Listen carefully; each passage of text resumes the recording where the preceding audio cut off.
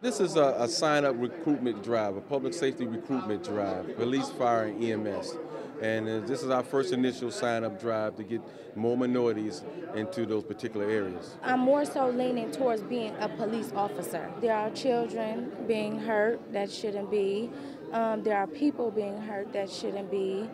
Um, I just feel the need, though, I need to help my family, help myself, help the community. We drilled them a little bit and let them know that this job is not for everybody, you know, and they, and they still here and they all stood up and said they were they ready to, to take on the challenge, and that's a good thing. The minorities uh, in this particular city, which is the majority of this city right now, you know, would, would fend real good in, in establishing those relationships between the police and the community because they come from the community.